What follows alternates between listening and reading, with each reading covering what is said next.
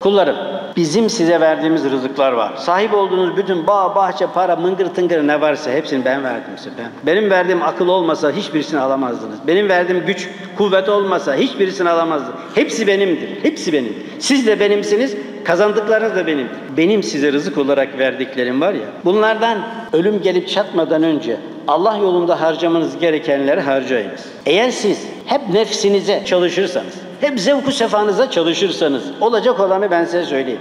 Diyor Allah. Nerede? Münafıkun suresi. Kaçıncı ayet? 10. ayet. Bakın ne diyor Cenab-ı Hak Celle Celaluhu. Tak diye ölüm gelir. O zaman ölüm gelip çattığı zaman bana şöyle diyeceksiniz. Ey benim Rabbim bana biraz daha süre vermez misin? Ömrümü biraz daha uzatmaz mısın? Ne yapacaksın? Bol bol sadaka vereceğim. Mali eksiklerimi telafi edeceğim.